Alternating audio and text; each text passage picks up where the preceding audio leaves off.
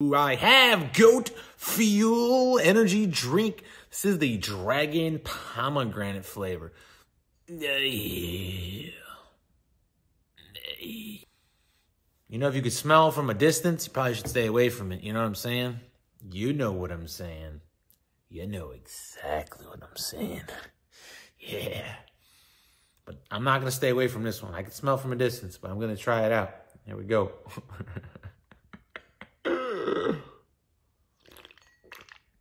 Hmm.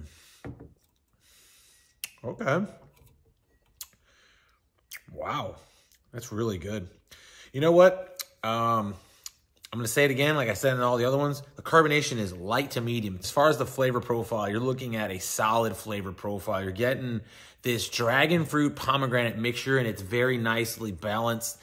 Guys, this is going to go in the 8.75 category for me. So that's what I got for ratings, 8.75.